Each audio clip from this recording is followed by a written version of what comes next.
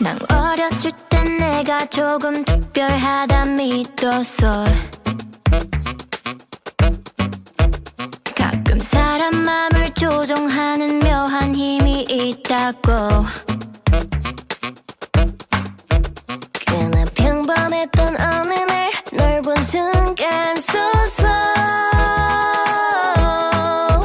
점점 빨라지는 심장 소리 동공은 확 커졌어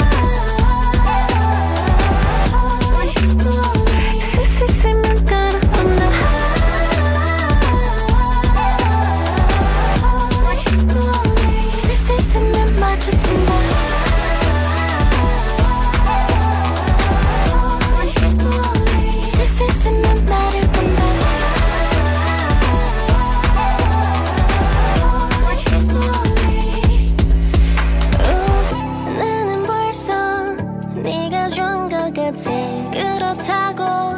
우쭐해서는 안돼